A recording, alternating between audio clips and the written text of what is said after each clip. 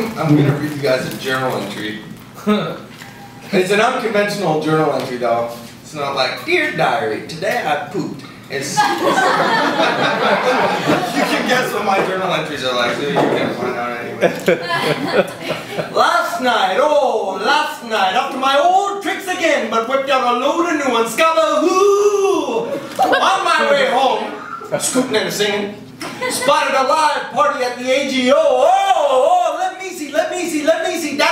up, I want to see. Diddly dee dee dee. Two ladies, sexy, classic, smoking. I said, what's going on here? She say, a party.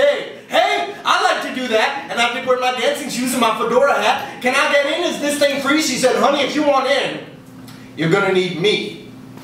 Then with a lick of her wrist, she put her stamp onto me, and that's how Wunder got into the party. What?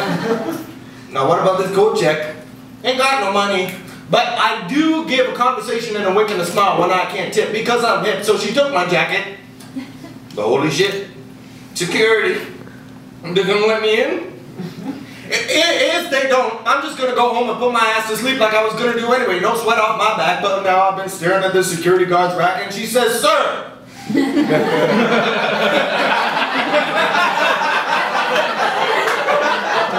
May I see your ticket? Well, uh, I left my ticket on my table and that's no joke. I just had to step out for a smoke. And then I showed the stamp blue smudge on my hand, still smelling sweet because that lady licked it onto me. She said, mmm. Next time, have your ticket on you, sir. Now get your ass in there and have a drink on me. And that's how Wunder got into the party. D'oeuvres with little toothpicks looking fancy. I've been eating sandwiches and beans and soup and other canned food. So I picked up five of these, six of these, seven of these. Cheesy spinach, artichoke, a spiral fill pastry things that taste hasty in my way. I eat them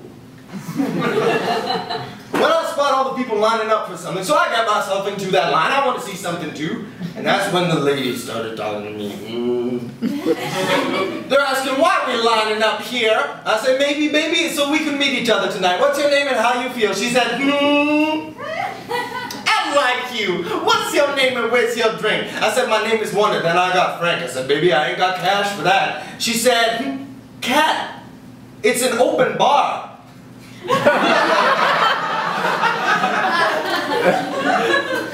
Hello, my name is Wunder, and I'm an alcoholic. and, and I like to smoke cigarettes, and ganja. And, and then I, I hit the bar and pack the bowl and roll the spliff and let it go smoky pop pop past that shit. And then I laugh and I dance and I sip some more and I ha ha ha baba zuzu. And I'm trying to recover.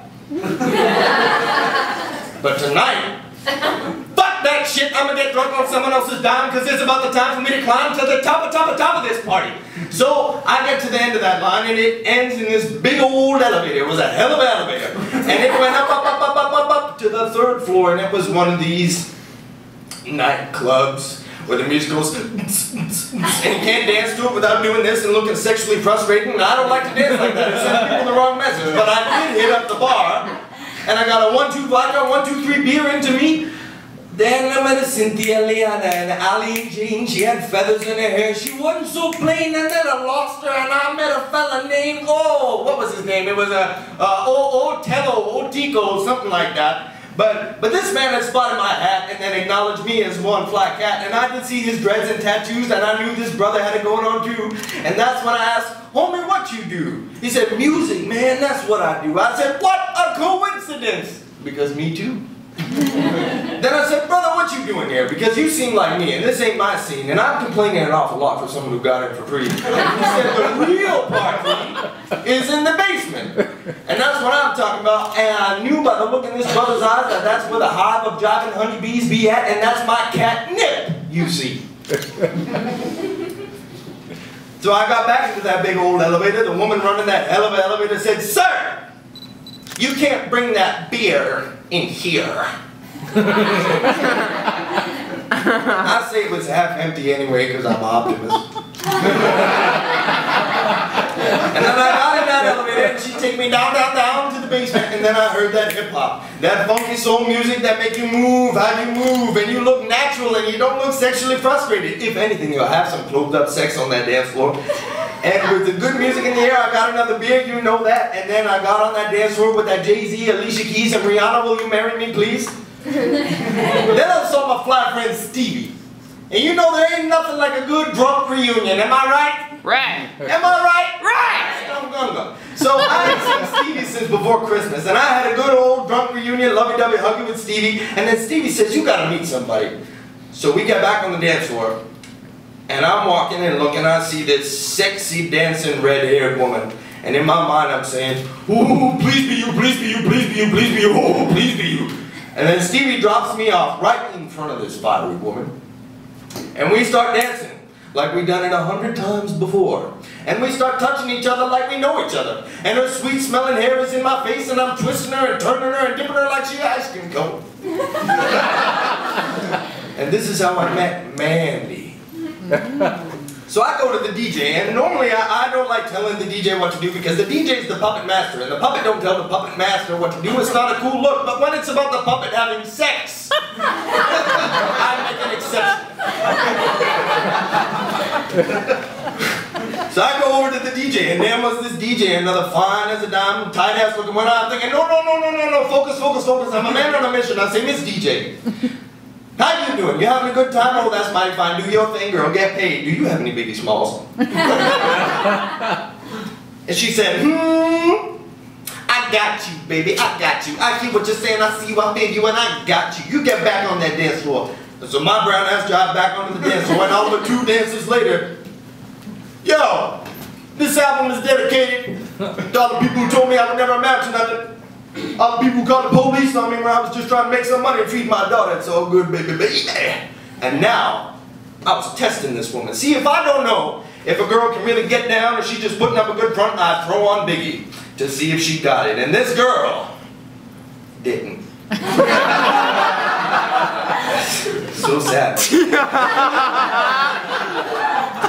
but about three paces left, there was this fine looking mama, fine, bottom, fine chest was getting down to Biggie like she do it every day. Hey, me too.